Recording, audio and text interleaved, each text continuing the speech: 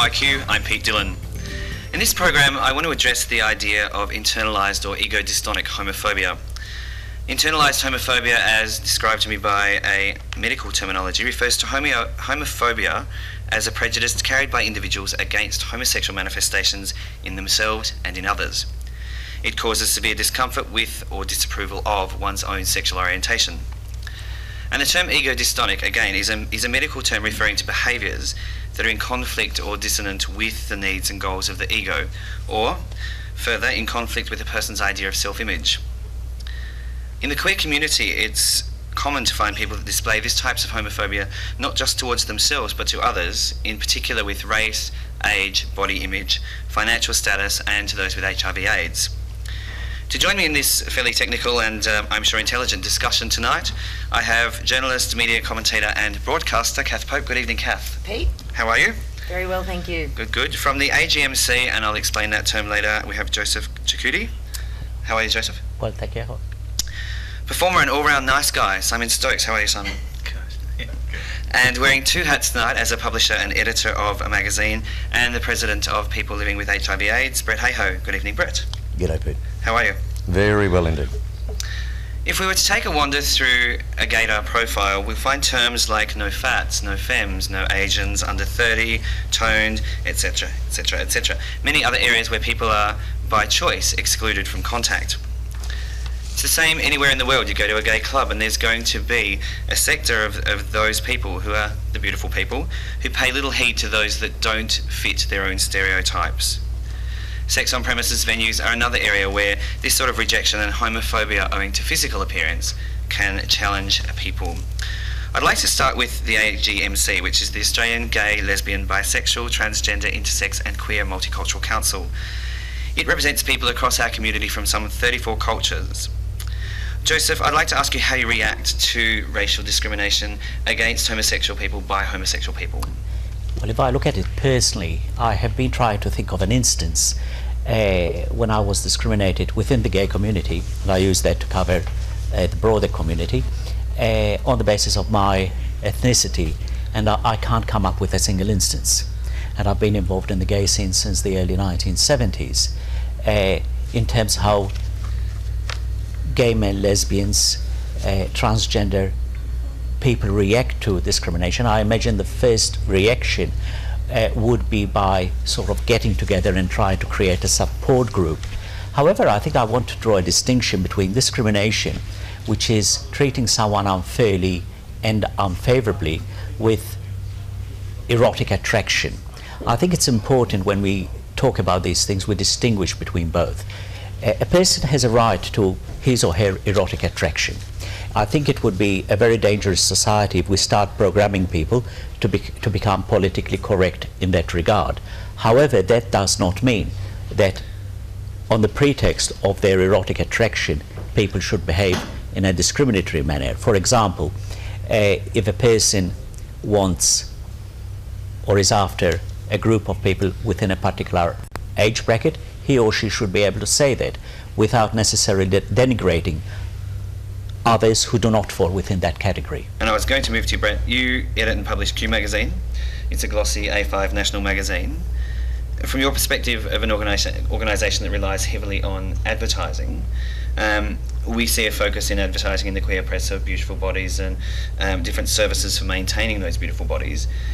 Are they damaging to those that can't achieve it? Can't achieve that beautiful body by virtue of being big boned or, or uh, a, a genetic disposition to being large or tall or um, you know unable to, to have that that sort of very stereotypical beautiful body. Okay, for starters, there, there's always in publishing a, a commercial reality. hmm So having ads in a free publication obviously pays for that publication. The content of those ads, I don't know that publishers have a right particularly to tell advertisers what images to put in there. How that, how that affects the people reading the magazine, I, I really don't know.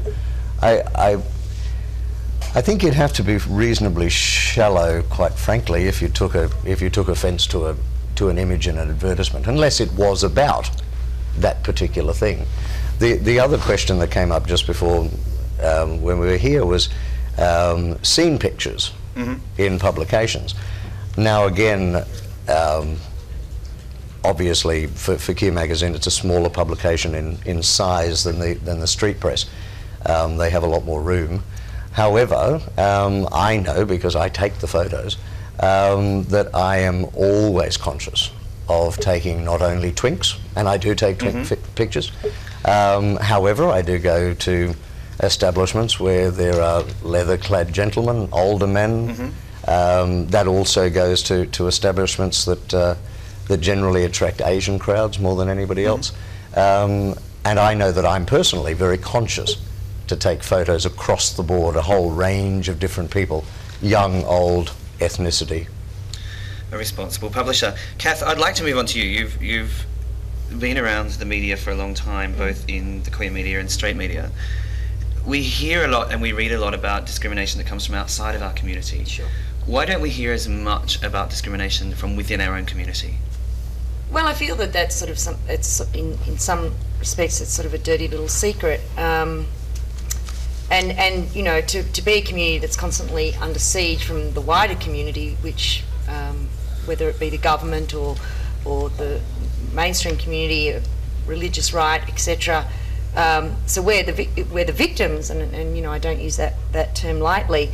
Of that kind of discrimination on a daily basis, for us to then discriminate within our, our own community, um, is is really intolerable from from my point of view. I think um, there is a, a hierarchy within the the GLBTI community. Um, I think gay men, in, and I'm, I'm generalising, I think gay men are generally at the, the top of that pecking order. They're the ceiling. I think um, many people within the transgender community would feel that they um, are really lower in that hierarchy and, and, and are discriminated upon by um, a lot of people within the gay um, and lesbian community. I think they, they probably are um, a part of our community that feel the least understood and, and, and, and ridiculed, etc., etc. So um, I don't think there's enough. I don't think there's enough being done within our community and, and within the media, uh, within our community, uh, let alone the, the wider media, the mainstream media, to to address this issue. Sure. Simon, just going to that dirty little secret that we don't hear a lot about, and, and Kath talking about a, a hierarchy. You're a performer, you've relayed to me in conversation that um, you've been discriminated against by other people for, for certain reasons. Do you want to share one of those experiences perhaps, or, or talk about the discrimination that you have suffered from within our community? Um, sure. uh, I think it's very much on a body image thing. I find that a lot of people get so hung up with the physicality and the way that people look, they never actually look any further into the inner, well, inner beauty, I suppose. It's all based on physicality. Um, I've had instances where people have come up to me and said to me, "You need to lose weight. Have you called Jenny yet?"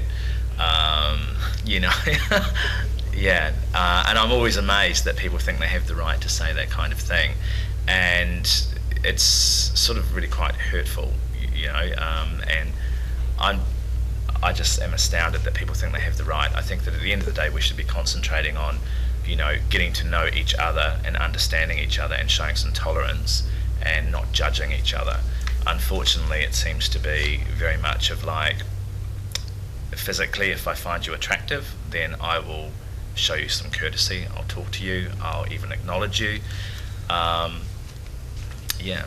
So Tolerance is an interesting word. We Mm. we demand tolerance from the broader community to embrace our sexuality as we have. Um, we tend not to do it ourselves. I had a recent discussion with a with a young openly gay, um, sorry, openly HIV positive uh, drag queen who also suffers a bipolar condition. Um, he has his finances or his, his pension managed by an organisation, um, and he said he's, he's just disgu- he's, he suffers from discrimination across so many levels in the community. Um, and, and really struggles with that, and it, it affects his, his mental con- condition. Brett, I want to bring you back in here wearing your PWLHA. PLWHA. Uh, even PLWHA. Yeah, yeah. yeah, I'm really bad with these, these anagrams. Um, Somebody once said that it stood for people living with a hundred acronyms.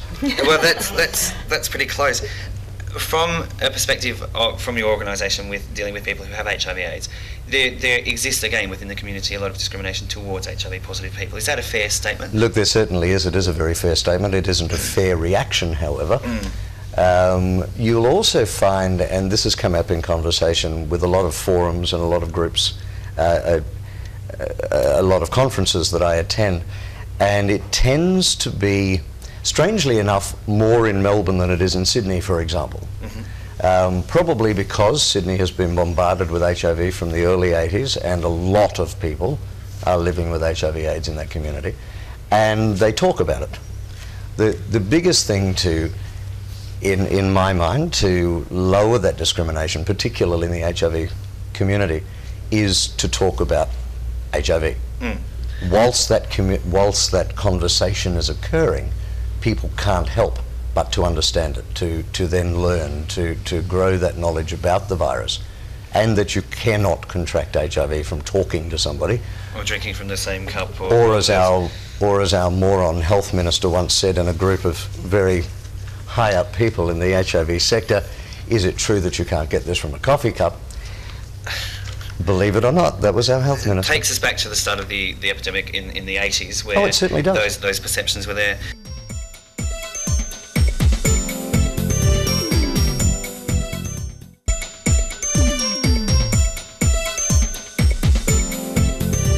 I'd like to just touch on um, the work of an author by the name of uh, Andrew Sullivan. He's a gay man. He's quite conservative in, in his approach.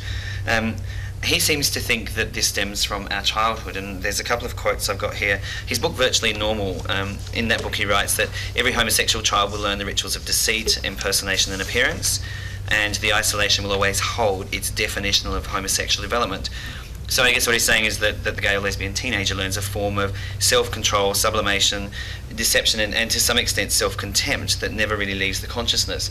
And I wonder if that then um, continues on to to our adulthood, where things that we tried to suppress, I guess, as, as our sexuality and our, our adolescence was developing, whether we're starting to, to pop this onto other people. I tend to agree. I tend to think that most things that people don't particularly like in other people, it's something within themselves that they're not comfortable with.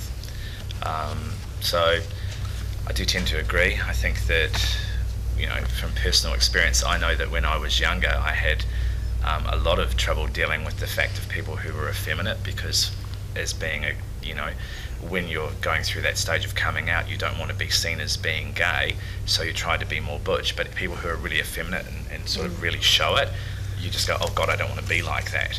So you end up separating yourself from those kind of people, going, I don't want to associate with them because people will think that of me.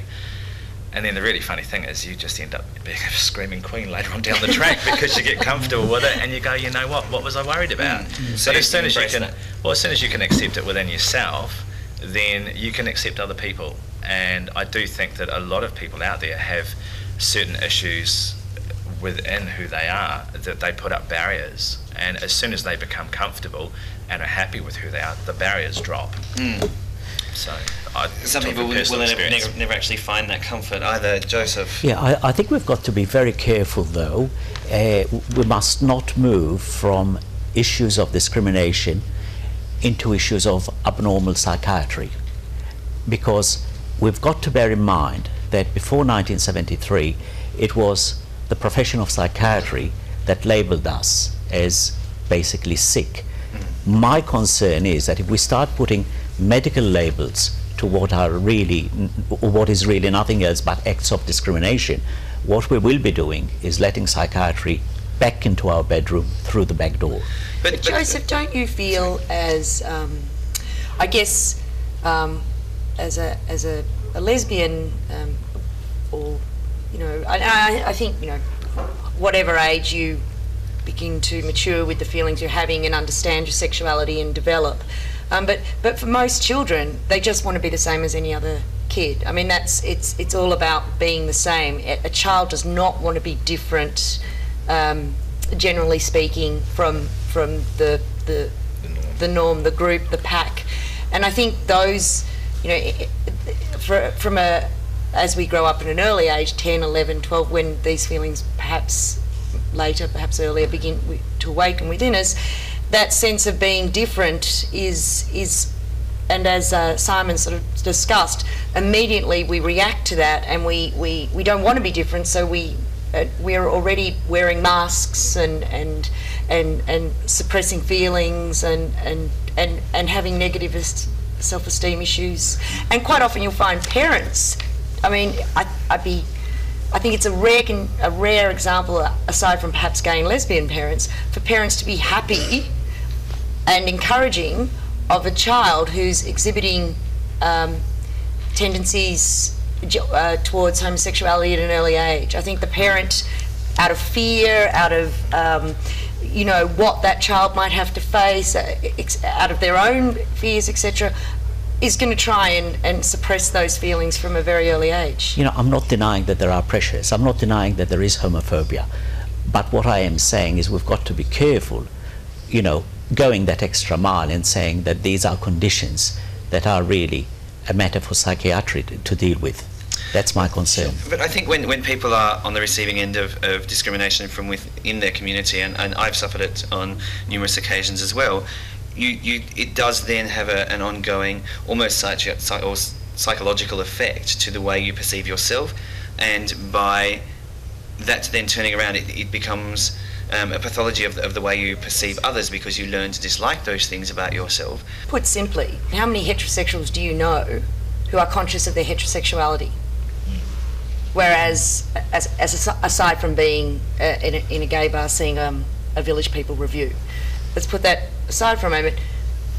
They're not. Whereas, how many gay and, and lesbian, transgendered, bisexual, you know, the whole spectrum of our community, our members are conscious of, of their um, sexuality every day. Well, well I'm certainly not denying the fact that uh, there is discrimination in our society against people you know, who are members of sexual minorities, nor am I denying the fact that uh, this discrimination affects members of se sexual minorities adversely. What I am really saying is this, that we must not immediately jump and give certain conditions medical labels because what we may be dealing with may simply be instances of discrimination. I mean, you know, sometimes, for example, in my case, uh, some people, for example, regard me as old. Uh, now, I really don't think of myself. I mean, I don't think of myself as old, but but it depends on the perspective that you take. I mean, I, as I said, I came up in the 1970s. A lot of the gay men that I knew then are no longer with us. But I don't like. Sorry, I just tend to think that there's no point in trying to analyze it and put a label on it. Actually, do something about the problem. You know, I, I sort of agree. Instead of trying to say there's a psycho- psychological name before this and we need to name it to understand it, just turn around and change the behaviours. Have people aware of what they're doing. You know, as as gay people, we don't want to be um, discriminated against, so don't discriminate others. When we come out, we're fearful that we're going to be rejected by our parents and our family and by our loved ones, and yet within our own community, yes. we're rejecting each other because we look at people and we go, well, you're not the norm and you don't like the magazine man I want to see, or maybe you're a different colour to me, or maybe you think a bit differently, or, or you dress differently. You know, people aren't actually looking at people as individuals and going, wow, let's have a conversation. Maybe I like this person, I like the way they think. It's purely on different kinds of. Um, it, it, becomes very much a physical thing. Yeah, certainly we certainly we can't get it certainly we cannot ask or expect acceptance and tolerance from the broader community unless we accept and exactly tolerate ourselves. Yeah, yeah. However, is that not systemic? is it not something that is not specific to the gay community but human beings in yeah, general? But, uh, that aside, regardless, we have a responsibility to conduct ourselves as decent people. We need to show respect to each other because if we want respect, we have to put it out there. If we want to be tolerant and have people who are tolerant of us, we need to do it. It's about old fashioned totally values. It's totally about changing our behaviours and making everyone in the, in the gay scene wake up it's like if you don't like being someone turn around and say something nasty to you, then you don't say it to other people. It's common sense, and unfortunately, I find that so many people are so self-obsessed by, oh my God, do I look good? Am I going to pick up? Does this man like me? They don't actually well, they're not aware of their behaviour and how they're treating other people.